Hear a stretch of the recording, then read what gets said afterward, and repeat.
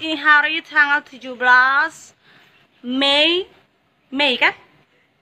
April. Oh salah April. 17 April 2019 Sebenarnya hari ini harus coblos pilihan presiden dan wakil presiden. Kami sudah jalan jauh-jauh.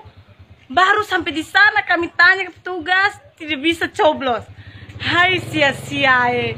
Padahal sudah bawa KTP seumur hidup.